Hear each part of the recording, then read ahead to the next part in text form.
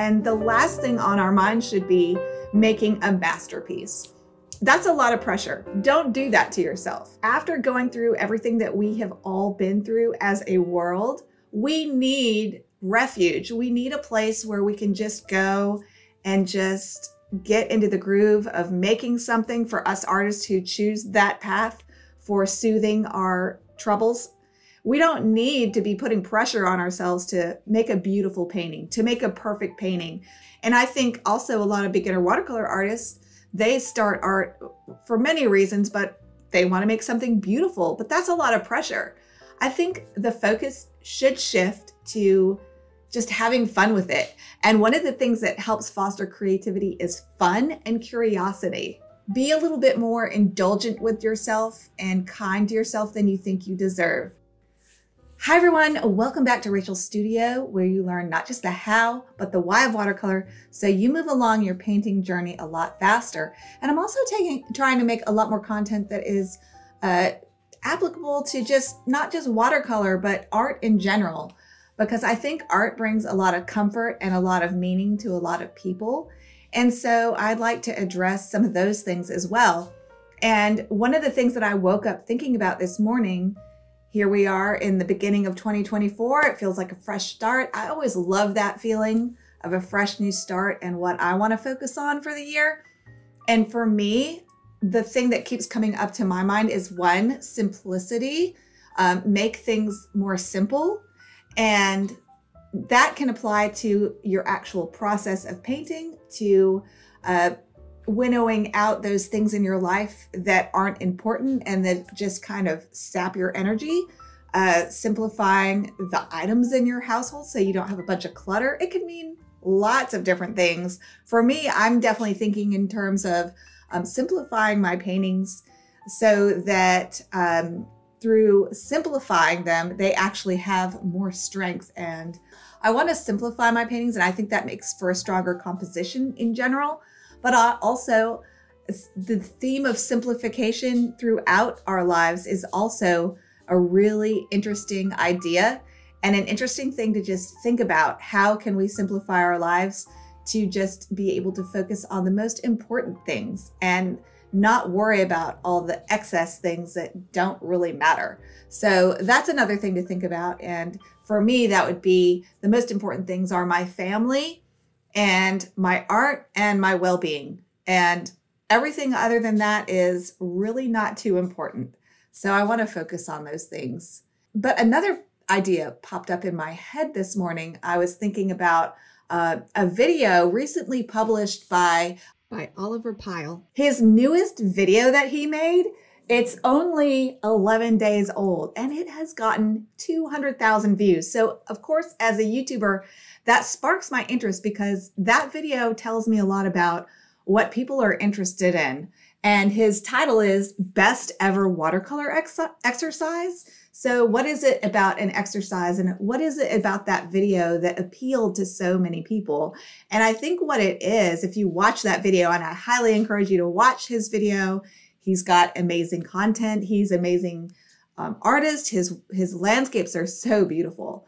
And I think what stuck out to me is that the exercise that he did in that video was really low pressure and you could just enjoy your watercolor and see what you could do with them. Play with color play with line play with textures and and you're not trying to make it look like anything. You're just painting for painting's sake. It's an exercise to just get your brushes wet and see what your brushes and your paper and your paint all do together. And I love that. And I think the thing that is so appealing about that, and I would love to hear in the comments if you've watched that video, what you think of that video and what about that video appeals to you the most. To me, what stood out was that it's no pressure.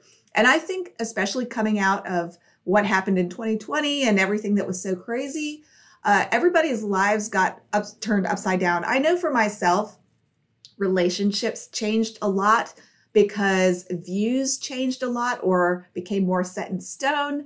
And those things affected people's relationships, friendships and family relationships. Um, friendships ended and new ones began. Uh, family relationships felt different. Uh, some became closer, some became more distant. And that is a lot to go through. I think for me, I'm just real steady cut type of gal. I like things to stay the same, the same, especially in my relationships. If I'm your friend, I'm there for the long haul. And to have some relationships change like that is really unsettling to me. And I think also really um, hard things happened and people developed some unhealthy habits, me included. And I'm we're trying to. It's almost like sh- shedding a snake skin to come through that whole process. And of course, I want to come out of that whole um, experience stronger, wiser, and better. And um, and I got better in 2023, and I want to get even better in 2024 in so many ways. I want to get better in my art. I want to get better in my relationships. I want to get better in my health. And so I'm kind of getting off the topic, but let me get back to what I think is so appealing about Oliver's video that's appealed to so many people. It's no pressure. And after going through everything that we have all been through as a world, we need refuge. We need a place where we can just go and just get into the groove of making something for us artists who choose that path for soothing our troubles we don't need to be putting pressure on ourselves to make a beautiful painting, to make a perfect painting, to become good artists. That's a lot of pressure. Uh, I think art, especially for a lot of people that I've heard from, a lot of people, uh, a lot of my online students who I get a lot closer to, have been through really hard things, and they need their art to be a place where they can just relax, unwind, um, follow their fascination. And I think a lot of times art can really stress us out because we want our art to look a certain way and it doesn't. and that's frustrating, even for me. I have been so frustrated ever since I started my journey online in front of a lot of people because you feel the pressure to be better, to make amazing art that really appeals to people. And that's a lot of pressure and it's hard. And I think also a lot of beginner watercolor artists, they start art for many reasons, but they want to make something beautiful, but that's a lot of pressure. I think the focus should shift to just having fun with it.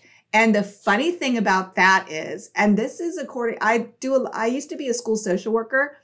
Uh, I have a master's in social work, so I've I've read a lot of research on learning and how do we learn best. We learn best when we like our teacher, and we learn best when we're having fun and you read about the artistic creative process, there's a lot of fascinating research out there about creativity and what helps uh, foster creativity. And one of the things that helps foster creativity is fun and curiosity.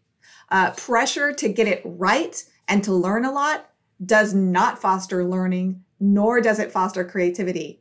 Uh, I read a New York Times article, I can't find it for the life of me. It's over a decade old that said, uh, take vacations, take time off, just have fun, follow your curiosity. You almost have to let go and just enjoy the process of being creative and not putting pressure on the process. So I love that. And I love how people resonated with Oliver's watercolor um, watercolor experiments on that video. And no matter what kind of art or craft or creative endeavor you do, whether it's computer coding or art or pottery or um, making beautiful cakes, whatever it is that you do to be creative, uh, decorate your home. I think having a, a sense of fun and whimsy and curiosity to be the main driver behind your creative endeavors is really very constructive. So I love that about being an artist. My job is to have fun encourage you all to have fun.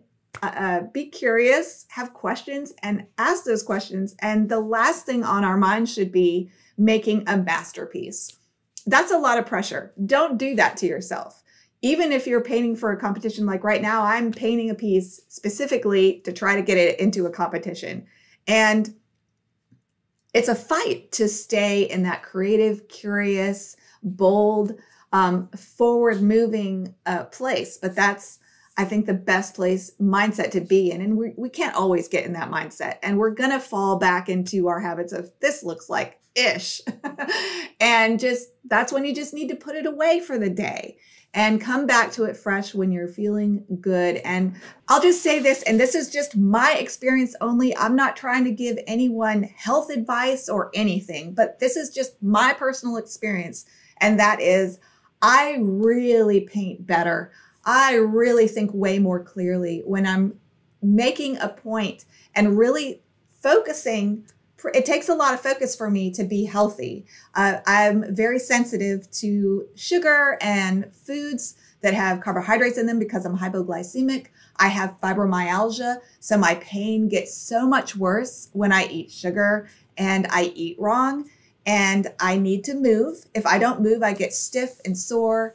And uh, if I don't sleep right, I don't think. My art suffers. I can't talk. And so that is another thing that I would just encourage you to think about is uh, for 2024, don't overwhelm yourself with a bunch of goals because that won't work. And I'm coming back to my training as a counselor, um, but pick, try to pick something that you could work on in 2024, just one thing, not sleep and exercise and stopping a bad habit, whatever that may be, um, and eating right. Pick one thing that to you is the most important thing to make yourself feel better and focus on that only for 2024. And to help you do that, the best thing to do is to find a replacement for whatever um, that bad habit was filling. Like if it's not getting enough exercise, you needed to rest on the couch. And when you're tired, you just don't have the energy to go do something. What is something that could replace that, that served that purpose of um, of of being tired. Maybe it's getting more sleep. Maybe it's eating better. Uh, I know when I eat better, I have more energy to exercise. So, what is the one thing that you could work on to make yourself feel better? And I'm sharing this because if you feel better, you're going to have more energy. You're going to feel better. You're going to think better. You're going to learn better when you're trying to create and have fun. And you're going to to have fun, you got to feel good, right? So it's really important to take care of yourself. So I hope you all are taking care of yourself.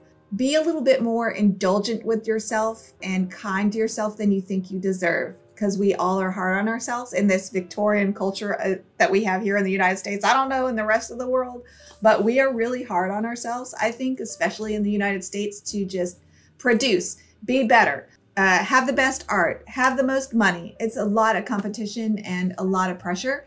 And uh, let that go. it's not healthy.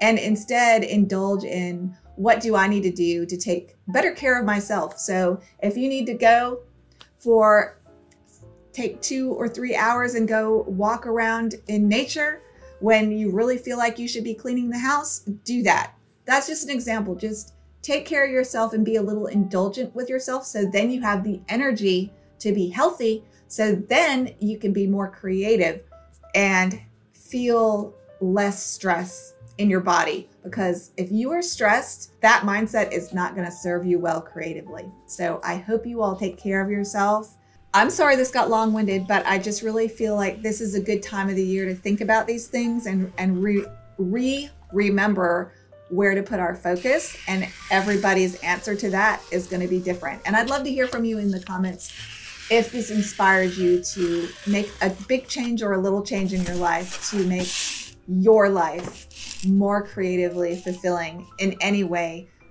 that works for you and that's going to look so different from for everybody for me it's going to be eating healthier and being healthier so I have more energy to be more clear minded to create and to have fun creating, to remember to have fun and keep it simple with my art. That's my goal for my art this year. So I'd love to hear what your goal is.